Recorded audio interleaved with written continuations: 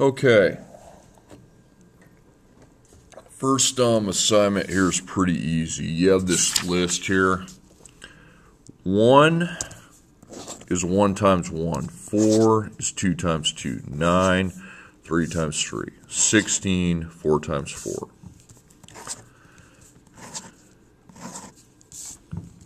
All these numbers I'm circling are what we call perfect square numbers because all of them have a factor times itself. Can be written as a one factor times itself. Now x squared is also a perfect square because I can write that as x times x. Okay. Okay, so what I want you to look on here is identify the expressions that represent a difference of perfect squares. Okay? Well, first off, a difference has to have a minus, and it does. Okay? Now, is 9 a perfect square?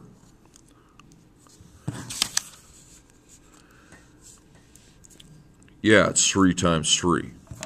Okay, so I put 3 times 3. Is x to the second power a perfect square? Yeah, it's x times x. So that's yes. Okay, if I have a plus, you write no, okay? You need a minus, okay, for it to be yes. Okay, next power again, you have a plus there, so no, right away it's no. Here we have a minus, but 14 is not one of these numbers. Okay, 14 is not one of these numbers. So since 14 is not a perfect square, that's a no. Okay, here I have my minus. 25, 25 is 5 times 5.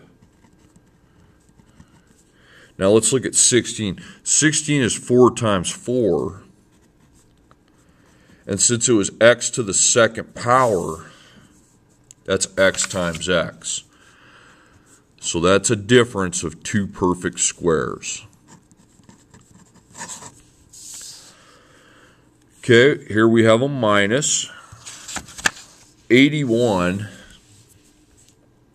that's on the list, that's 9 times 9. Okay, 4, that's on the list, that's 2 times 2. And then x to the second power is x times x, okay? So 2x times 2x, so that's yes. Okay, here we have a minus, and 49, 49's on the list, that's 7 times 7. But where's 3 on the list? I don't have 3, so that's a no. Okay, here we have a minus 64's on my list right here. It's 8 times 8. 49's on the list. That's 7 times 7. And x to the second power is on my list. That's x times x. So that's yes.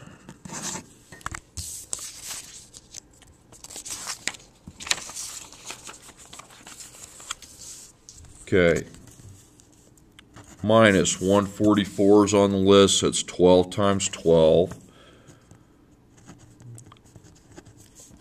And x's second power is on the list because that's x times x. Okay, here you have a plus. So because I have a plus, it's no. It's got to be a minus. Okay. Here it's a minus, so that's good. 1 is on the list, that's 1 times 1. 16 is on the list, that's 4 times 4. And x to the second power is x times x, so 4x times 4x, so that's yes. Okay, here we have our minus. Now 100, 100's on the list. That's battery.